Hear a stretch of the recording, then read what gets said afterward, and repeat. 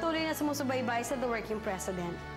Isa sa layunin ni Pangulong Arroyo ang maging globally competitive ang Pilipinas sa larangan ng agham at teknolohiya. Dahil dito, isang proyekto sa pagitan ng Ayala Land at UP ang isinagawa.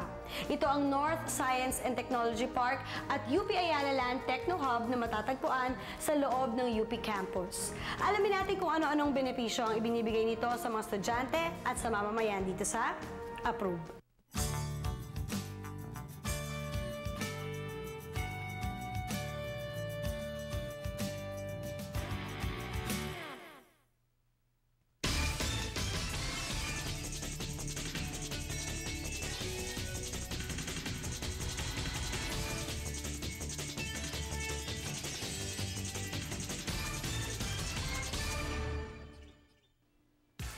Ito na nga raw ang bagong simbolo ng pagsabay ng Pilipinas sa alon ng paggamit ng makabagong agham at teknolohiya. Ang North Science and Technology Park ng Premyadong Universidad ng Pilipinas at ang UP Ayala Land Techno Hub na pinasinayaan ni Pangulong Gloria Macapagal Arroyo noong November 21, 2008. This park will serve as our country's foremost IT laboratory, training ground, and incubator of new and high-value adding products and services. Together with the Science and Technology Complex and the Science and Technology Park, it will provide a nurturing environment for new IT-based businesses that transform new technologies into useful and commercially viable services. Ang pagkakaroon ng isang techno hub ay nabuo sa panguna ng Universidad ng Pilipinas na siya nagnais na magkaroon ng isang sentro kung saan mapagtitibay ang kolaborasyon ng akademya at ng industriya para makamit ang tuloy-tuloy na pag-usbong ng siyensya at teknolohiya sa bansa. It's a flat world and you need to collaborate not only with industry but with research peers uh, around the world in other universities and, and uh, even the multinationals. Di, ito nga, itong, yung industry academic collaboration is something that we are, that UP is beginning to, to look more closely into. Dati ko sabihin, di ba, yung mga scientists, they're up in their own ivory tower na ganyan, na parang walang relasyon, eh, parang hindi ganun ka-relevant sa, ano, sa industry. And we're hoping that with industry being close by, mas madidevelop ang synergy ito between academ and industry. Kasama ng UP sa pagtugon sa pangangailangan ng isang technology hub ang Ayala Land, ang nangungunang property developer sa bansa. The UP Ayala Land Techno Hub is really an office campus development. It is a collaboration between the university and Ayala Land. 38 ektarya ng lupa ang inilaan ng UP at idinevelop ng Ayala Land para maging bagong sentro ng inobasyon sa Pilipinas. So it is a 38 mixed he- 38 hectare mixed use development that we envisioned it to be. It is also what we call a learning laboratory that would benefit both the academe and the industry. Uh, why so? So first of all, the research and technology will be collaborating with the um, faculty, maybe with graduate uh, students, with other students, uh, on whatever theory and uh, applications they can collaborate with.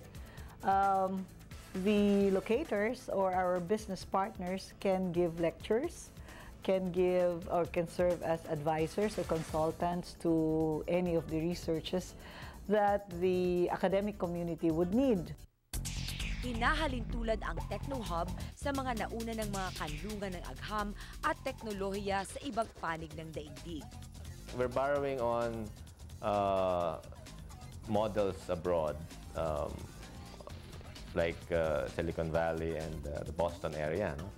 and and both uh, both of these developments in the U.S. uh, are centered around premier academic institutions, uh, Stanford and UC Berkeley on the west, and then on the east uh, you have MIT, of course. They had envisioned it to be like a Silicon Valley, which has its synergy with Stanford or um, Route 1 128 with MIT. Um, the University of the National University of Singapore has its own science park. You also have it in China, in Taiwan, and UP really wanted to bring out its um, other mission of being a scientific and a research university. At dahil dito, sinisiguro ng Ayala Land na ang mga infrastruktura at pasilidad ay makakatugon sa mga pangangailangan ng mga kumpanyang mamumuhunan rito at sa mga estudyante at dalubhasa ng siyensyang magtitipon-tipon doon upang mapausad ng husto ang teknolohiya. We've completed four buildings, two more buildings by the end of the year, and the four more by the middle and towards the end of next year. Then, if we do have a critical mass, we've go, we're going to do uh, our phase two. That's our phase two for residential dorms and uh, a little more uh, retail, hotel, and maybe, maybe some more offices. Aside from 10 office buildings, we'll have a, for the central area, we'll have a landscape area. We'll have some retail facilities, which is actually in the middle. We'll have a sports center. We will have, uh, in the later phase, some residential dormitories for the faculty, for students, and also mainly for the employees of the UPAL and Techno Hub. We'll probably also have a hotel. Malaki ang mga adhikain ng mga institusyong gumagalaw sa likod ng pagsasatupad ng isang hub kung saan uusbong ang mga ideya, imbensyon at inobasyon ng ating mga dalubhasa na magbibigay sa atin ng higit pang pandaigdigang tagumpay. Instead of say our for example our workers our scientists going abroad no, and, and so seeking seeking green greener pastures abroad na nga yung we're creating jobs here and yun nga yung mas mataas ang value added na lalabas dyan. I remember back in the 70s no sa among economists dito sa atin parang pinagtatawanan ang Malaysia. Bakit anyang Malaysia? Ito puro low value added yung mga ginagawa sa export processing zones nila for assembly lang anya ng mga kotse, assembly ng mga computer computer parts.